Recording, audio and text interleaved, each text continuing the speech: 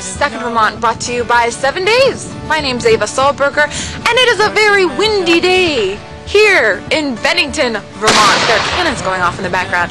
We're at the Bennington Monument, which is 309 feet tall, meaning it's the tallest structure in Vermont. I hear it's taller than the Statue of Liberty.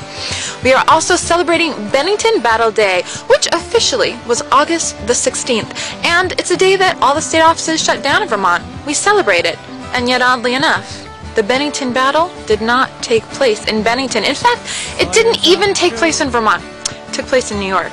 And today, at the monument, we are celebrating Bennington Battle Day. We have history reenactments and some people telling us why history is so important. Let's go find out why. Why did this nation become what we are today? It's because of what we did then.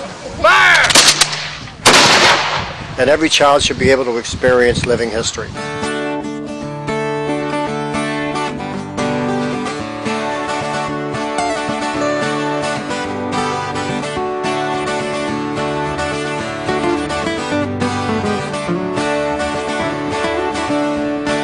Sawyers of the truth. Well, the Bennington battle was important because uh, General Burgoyne needed the stores that were here. The battle actually wasn't fought in Bennington. It was more the battle for Bennington. So it boosted our morale. A lot of kids today don't think there's any American history beyond the Civil War. and they think the Civil War occurred before the Revolutionary War. They have to be taught what it meant to live, to work, to fight. Why did they fight? Lifestyle was uh, mostly uh, agricultural. Most people were farmers. There was a lot of superstition during this time period. Mystery and confusion. Medical treatment was real strange. You really didn't want to go into a hospital. That we don't take baths, and we don't brush our teeth, we don't shampoo, we don't have deodorant. You don't? No. and we don't wear underwear. No.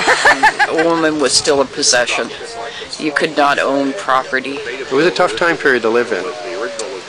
But the air was clean. They're the, tw- they're the 25th, we're the 25th, and the general. Major General. Major General. Yes, indeed. I portrayed a part of a French officer. a captain of Marines named Isaac Craig. A continental engineer. Volunteer militia. Raw recruit. I'm basically a grunt. I'm a private. I'm the wife of a junior officer. of the- I am an ensign.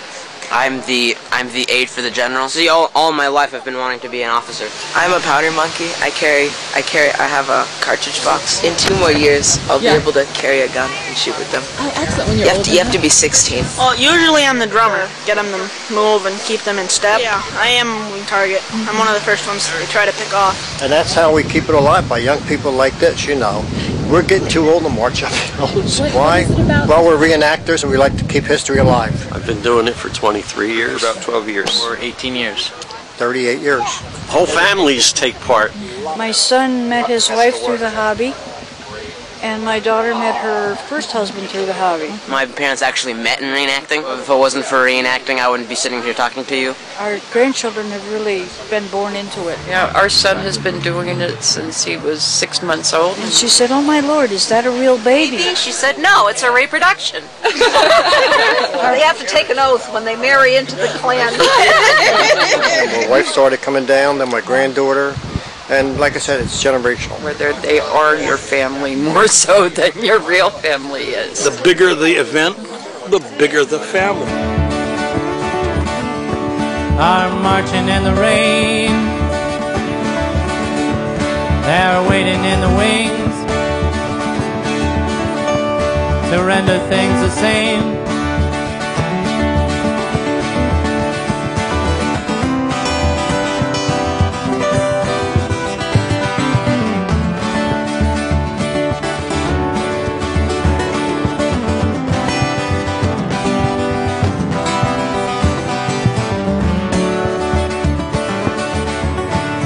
Stinging of my pride. My mouth is in a war. Does it work? It's a musket. Sometimes it fires. If it was damp and rainy, probably not. Uh, this is a 69 caliber uh, British boarding pistol, and it was made for just slight slashing and sticking. I would have that cannon out there is a six-pound gun. It would have six pounds of these. Just want to make sure that the men who die don't die in vain. This war we're in is a senseless war, but we've got to fight it in order to get our freedom. And for the first time in the history of the world, a popular revolution by a population against a mother country is successful. It's our heritage. You know, that's who we are. Don't walk, run to a library. Thanks for coming back in time with us here at the Bennington Monument, and we'll get stuck in Vermont with you again real soon. It's very hard to um, go to the bathroom. all, the, all, all the all the buttons and the coats and and, and, and, and the sort. It's very hard, but other than, other than that, they're they're very comfortable. Cause um, well, well the well the well the socks are an ex- are an exception. yeah.